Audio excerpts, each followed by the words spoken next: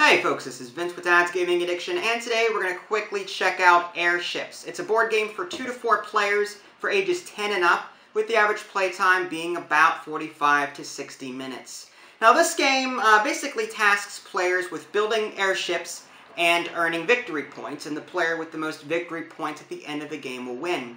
But the way the game is played reminds me a bit of Splendor, and that players start out small, uh, and have to use what they have in order to buy other things on the board that in turn allow, allow them to make uh, bigger purchases. Uh, and in this game, it's somewhat similar to that. But instead of collecting gems of a different color like you do in Splendor, you're going to be rolling dice. Players start out with like uh, a couple of these white dice which have certain values on them, one, two, or three.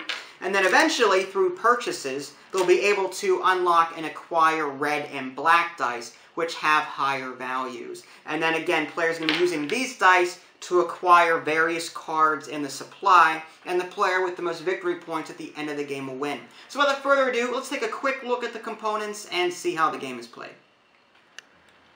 Okay, so uh, before we get started, it's worth noting that this freaking board is huge. I don't know why it needs to be this big. I mean, as you can see, it's like the spaceship from Spaceballs. If you've ever watched Spaceballs, the very beginning, you know, you've got, uh, I don't remember what the name of the ship, but it, it's the, it turns into the Statue of Liberty at the end. Spaceball 1, is it? Or, yeah, I think it's it. Anyway, um, but it's just, it goes on forever, is the joke I'm trying to make here. I don't know why they couldn't have made this shorter this way and longer this way, but I'm, I'm going to do my best to work with what I have. Basically, this board is uh, the general supply, and it's broken up into a few sections, which I'll get to in a minute. Uh, you've also got these player boards here. Each player receives one of these. They also get a nation of one type, like there's the USA here. You've got uh, France here, uh, some other nations in the box. I believe this is Italy here and so on. I could be wrong about some of those. I apologize. Uh, uh, and then you've got some other tokens in here. Each of those nationalities uh, has uh, tokens of that particular country type. Okay, so players will receive, uh, the first player receives three of those tokens. They're called bonus tokens. And uh, the other players receive four. And I think I just threw America back in the box. Yeah, okay. And it starts on this one side, and there's a reason for that. Whenever the change of era hits, this will be flipped over to the two sides. Speaking of change of era, there's a lot of seeding that has to go on to set up this board. Basically, there's going to be uh, cards that are dark blue, medium blue, and light blue, and they come in two types. You've got one uh, set with a wrench on the back, and you've got another type with an airship on the back. With the airship cards, these are cards that you purchase up here to get victory points. Uh, and you're going to be seeding these in a particular way. But the number of dice you can roll uh, on this, or the number of dice that you can actually use uh, to put toward the point value that need to acquire it is right here. So two white dice. So if you have the ability to roll three white dice, you have to use the values of two of those dice and hope that they add up to five or more, in which case you can acquire the card. The number of victory points that the card is worth is down here in the bottom right. But the way these are set up, like you shuffle the dark blue ones and then you put them face up on these four spaces here. Then you shuffle the moderate or the medium blue ones, put those on top of those, and then put one on top of each space. And then the light blue ones, you put one of each. So you've got three cards in each space is what it comes down to. You've got the dark blue, the moderate blue, and the light blue. Light blue goes on top, dark blue goes on the bottom. And basically that's that signifies how hard they are to acquire. They start out easy with the light blue deck, and then they get harder to acquire when you get to the dark blue. And then any extra cards that you have left over are just put out of the game. You'll have an extra two light blue, extra two moderate blue, or two medium blue, and then two extra dark blue. Those are just simply put away. There should be three cards in each of the four spaces there. Now, you've got this other set of cards. Um, again, there's light blue, moderate blue, and then there's this dark blue here. Now, the way the light blue works, um, all of the light blue cards will either be put on the board at the beginning or onto uh, a player board. Each player receives a random light blue card, and each one has a color on it. You're going to put that color on the appropriate space. The same thing with this board over here. When you deal out the moderate, or the, the light blue cards rather, onto the board, you're going to match the color here, and you'll put them on the far left space. And then as you add more cards, they'll they'll go in the second slot, then the third slot. And if you add a card to one that already has three, they get pushed off to the left here. This one goes away, and the other and this the new one gets put here, and the other two slide over this way. So yeah, what you're going to do is you're going to seed the board with all of the starter cards that are left over that players didn't receive. Again, each player gets one of these. And then you're going to fill up the board uh, with these uh, medium blue. I know it's a little confusing, but you're going to use these uh, medium blue ones here until you have a total of six cards out on the supply. So players can buy cards from here, uh, which have these wrenches on the back players can buy cards up here, which have these airships on the back. And uh, then there's this very top tracker. Once players uh, reveal one of these empty space, like once you buy all of the airships and it reveals this uh, Hindenburg space underneath it, players can actually um, use some of their actions on their turn to try and help build the Hindenburg. And it has the same type of information on it that you would find on one of these airship cards. Like there's an 11 on the top, which is how expensive, not how expensive, but how much how much of a value you need to reach in order to uh, build it. And I apologize, it's hard to see because, again, this board is huge. But uh, 11 is what is needed to be rolled in order to um, help build that part of the Hindenburg. And you can use a white die and two red die for that. Now, there's two victory point values on the bottom. There's a, a star that's not filled in, then there's a yellow star that is filled in. The one that is not filled in is lower, it's two points. That's if the Hindenburg does not get completed. That's what the player gets for building it. If the Hindenburg is completed by the end of the game, then they'll receive the full five points. So if the Hindenburg is completed, players receive the higher value. If it is not completed, they receive the lower value. And I'll zoom in on some of this so you can see it later on. Now, seeding this, um, again, I explained that the wrenches, the, the cards with the wrenches on the back, the light blue ones, players receive one of each. Uh, some of it gets placed here. The rest of them, the, these moderate bluebacks here, uh, the medium blues, um, are placed or shuffled and placed here. Then you've got this change of era card that's placed in beneath or between this, and then the dark blue ones are placed here. So there's that. And then whenever the uh, change of era hits, this gets flipped over and then players can use an extra red die. This, this little thing here says one white die, and that's what players start with at the beginning of the game, in addition to the one white die that's on the bottom left-hand corner of their starter improvement card. So there's one white die here, one white die here. So players start the die with, or start the game with two white dice. But whenever that change of era hits, they'll get an additional red die from this here, plus whatever else they've acquired throughout the game. So basically, again, you start small with only a few dice. You're going to be buying these cards here. These are improvement cards, and these improvements give you various things, uh, including victory points. Some do give you victory points, others don't. But um, you're going to be buying these cards here, getting more dice to use, and then as the game progresses and the cards get harder to purchase, you'll be using these improvements to get more dice to roll, and then you'll be able to acquire those. And basically, at the end of the game, whoever has the most victory points will win. Okay, so as far as what a player does on their turn, the first thing they're going to do is turn over a new expansion card, which is this card here, and then they're going to put it into the appropriate space. So uh, this is blue, so it's going to go here on the far right. Again, at any time, if you already have three sitting here, if you've got another one of the same color, these are pushed off the table like that, these slide over, and the new card is placed there.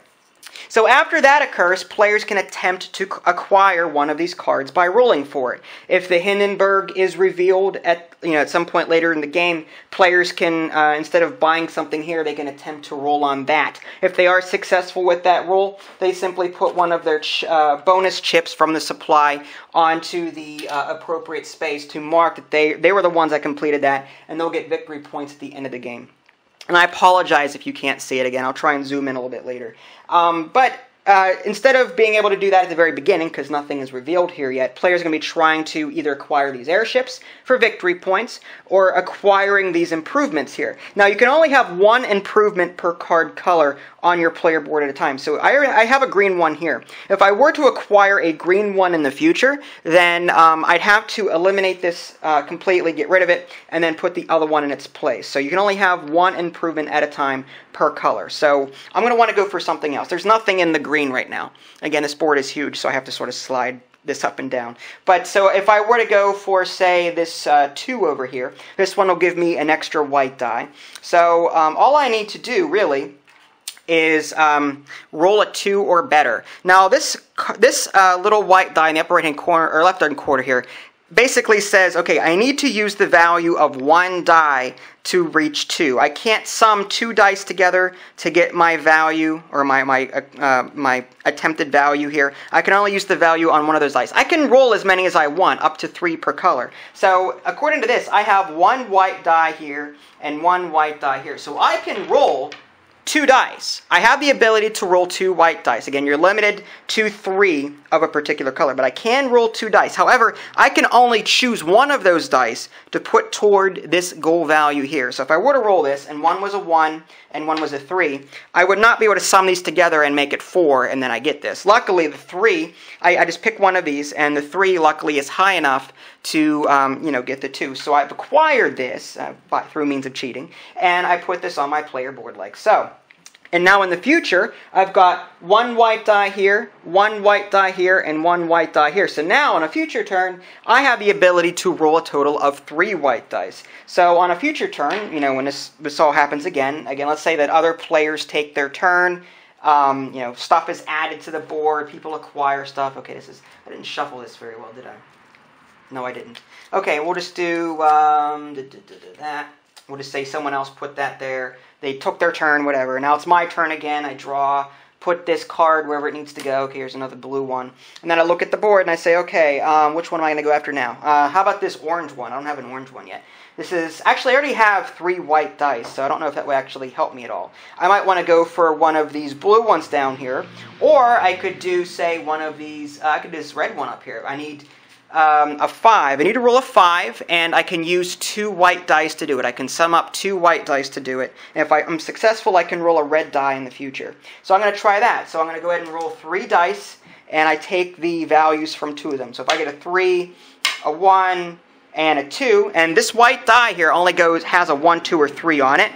So uh, let's say I roll a 3 and a 2 and a 1. I can't use, I can't sum these all up to make 6 because the card demands that I only use 2 dice. But I can use the 3 and a 2, sum those together, and that totals 5, and that's enough. So I can put this now onto my player board. And now in the future, I can use 3 white dice and 1 red die.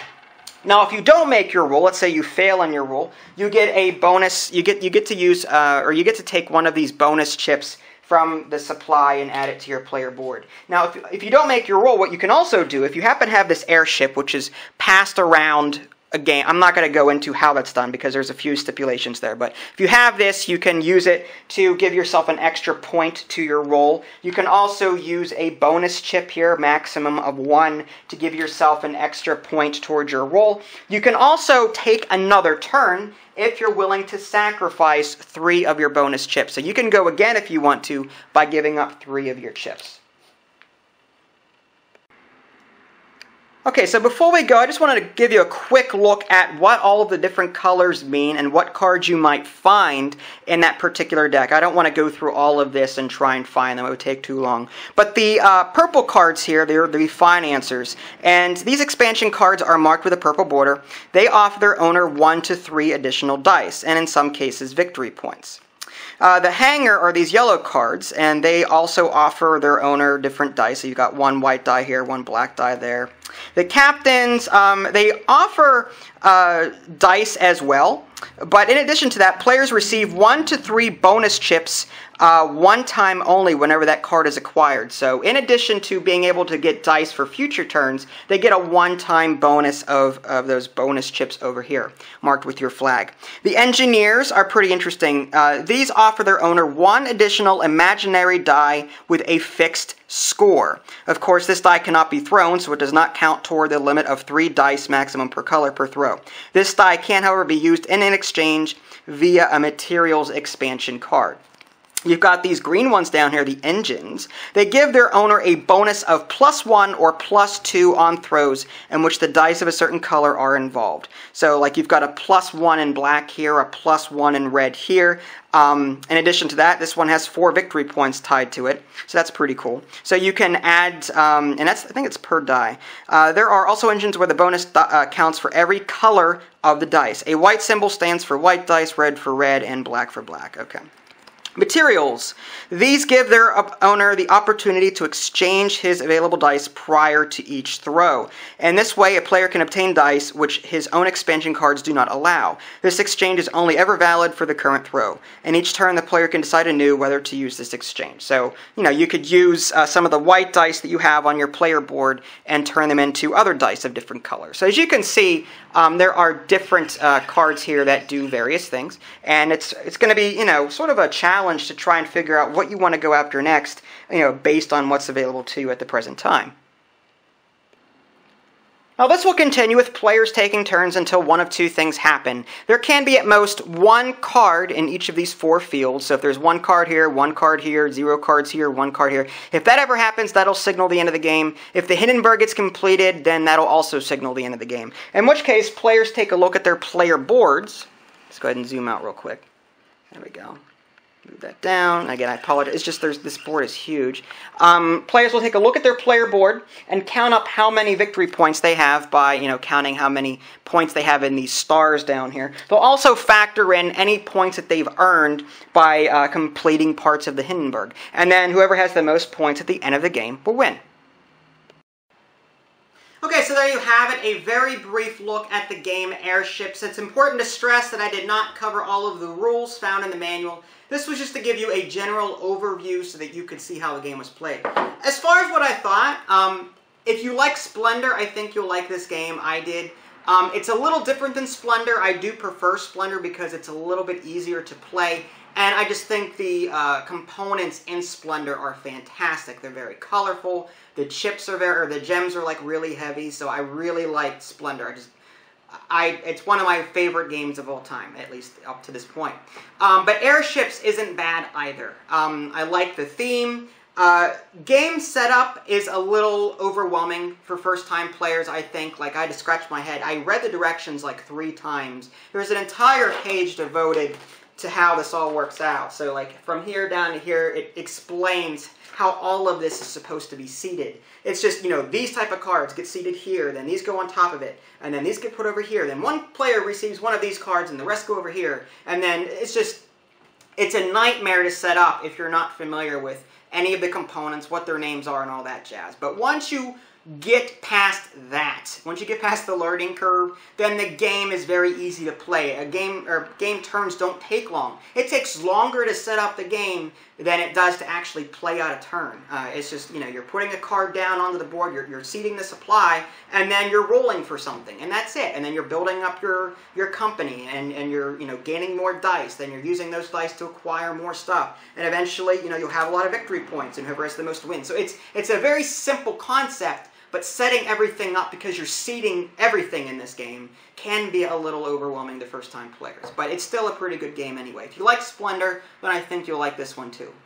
If you guys want to see my written review, you can. www.dadsgamingaddiction.com. If you haven't already subscribed to my YouTube channel, that way you can keep up to date with any new content I'm going to publish. This is Vince, thanks for watching, and I'll catch you next time.